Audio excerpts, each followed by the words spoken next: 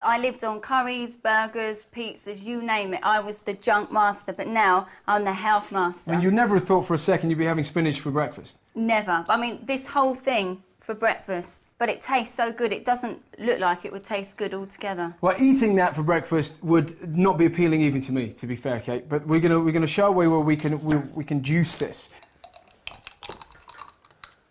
Wow. And you can tell that it's fresh because I'm going to drink it. I'm going to pour some of this as well. Mm. But it's rich, it's creamy. It has essential fats, it has protein in, it has vitamins, it has minerals, it has phytonutrients. I mean, this supplies your body with everything it requires. Plus, it's in a liquid form, which means that it's easier for your body to break down.